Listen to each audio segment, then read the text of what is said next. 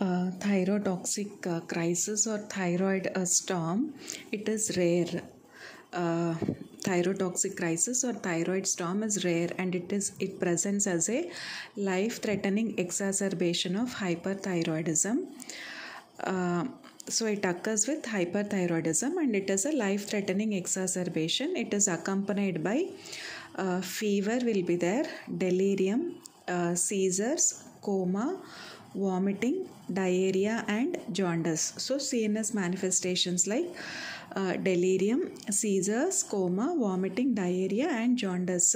So the mortality rate is high as 30% so even with treatment the mortality rate is high. So why this mortality rate? Due to cardiac failure uh, arrhythmia or hyperthermia. So because of uh, excess amount of uh, thyroid hormones uh, there will be hyperthermia cardiac failure and arrhythmia so why does this thyrotoxic crisis occur? Because it will be precipitated by acute illness. So what is the acute illness that precipitates this thyrotoxic crisis? It is stroke, uh, infection, trauma, uh, diabetic ketoacidosis and surgery especially on the thyroid or uh, radioiodine treatment of a patient with partially treated or untreated hyperthyroidism.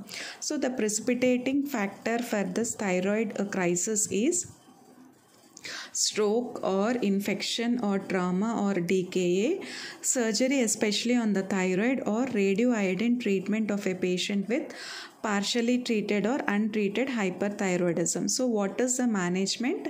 It requires intensive monitoring and supportive care. So, what we have to do if patient develops this thyrotoxic crisis?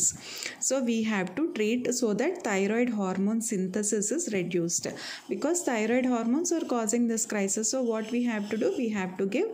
Uh, drugs which reduce the thyroid hormone synthesis. So, large doses of propyl thiouracil uh, how large doses. So how much large doses means first we have to give a loading dose. That is 500 to 1000 mg of loading dose we have to give.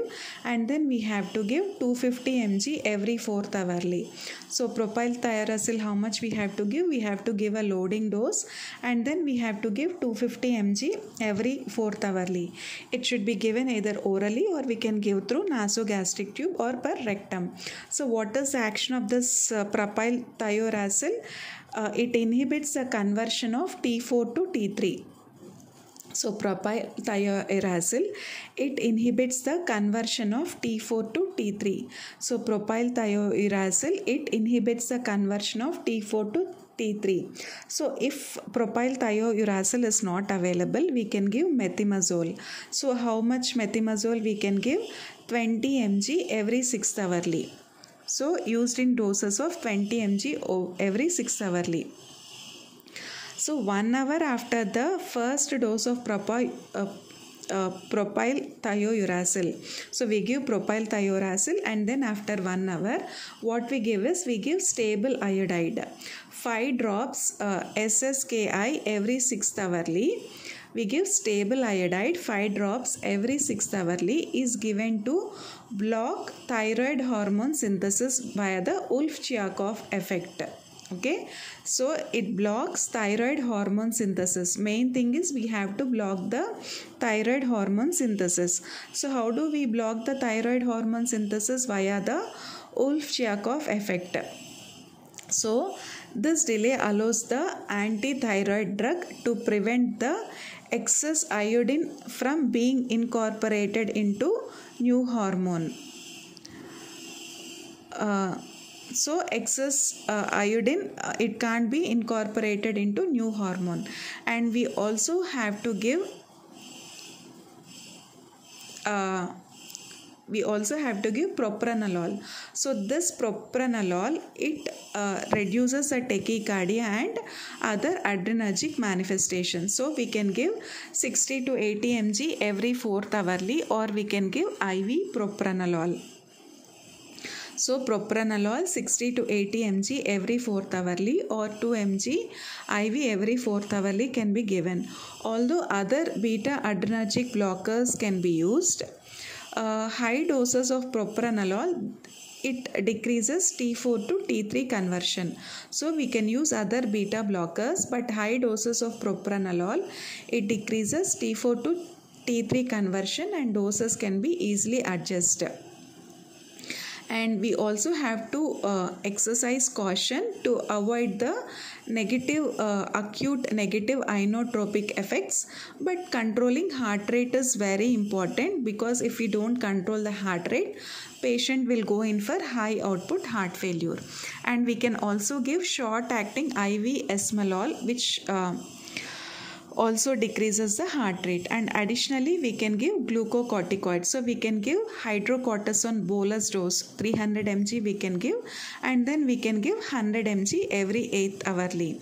If infection is present antibiotics and uh, cholestyramine to sequester the thyroid hormones so to sequester the thyroid hormones, what we can give? Cholestyramine, cooling, oxygen we can give and IV fluids we can give. Mainly we, we have to give propyl thiouracil if it is not available methimazole and stable iodide 1 hour after that every 6th hourly propranolol esmolol and glucocorticoids then coming to ophthalmopathy uh, when it is uh, thyroid ophthalmopathy when it is mild or moderate uh, it uh, spontaneously improve no active treatment is uh, required.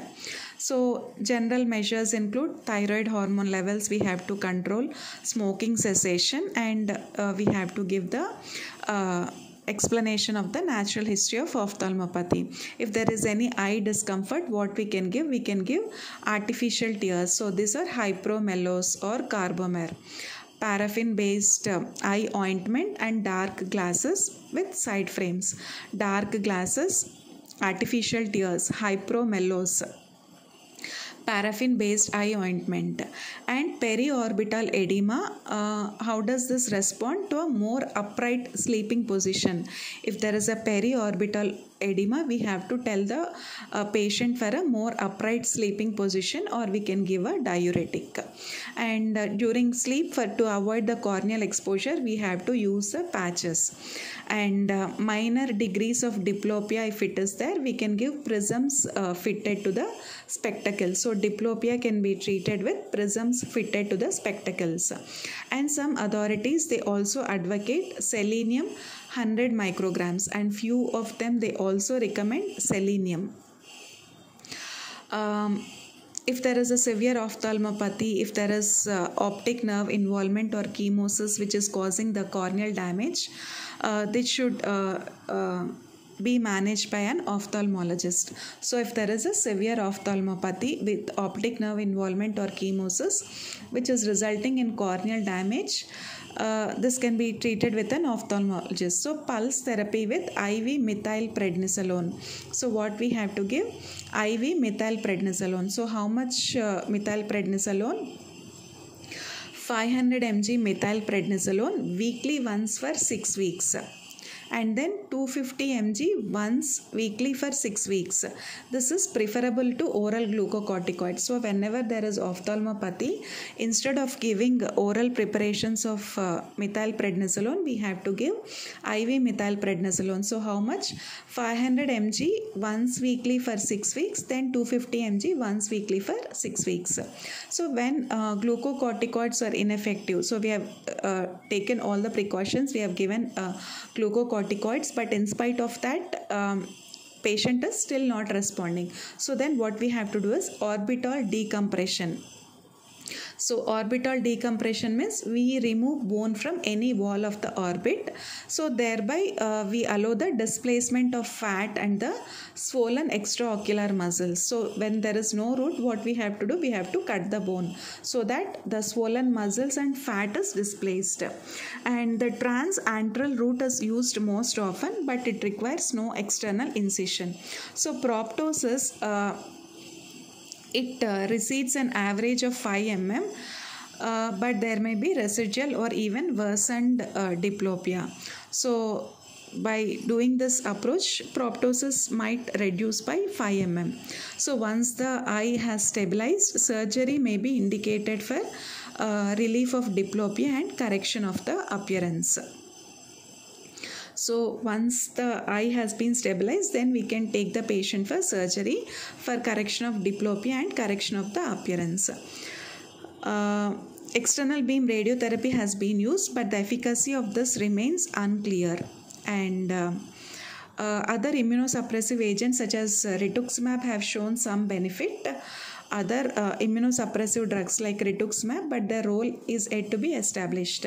Thyroid dermopathy does not usually require treatment, but it can cause cosmetic problems or interfere with the fit of shoes. So surgical removal is not indicated. If necessary, this thyroid dermopathy can be treated with topical high potency glucocorticoid ointment. So how can we control the thyroid dermopathy by topical high potency glucocorticoid ointment under an occlusive dressing and we can also give octreotide in some cases. So octreotide might also be useful for thyroid uh, dermopathy in some cases.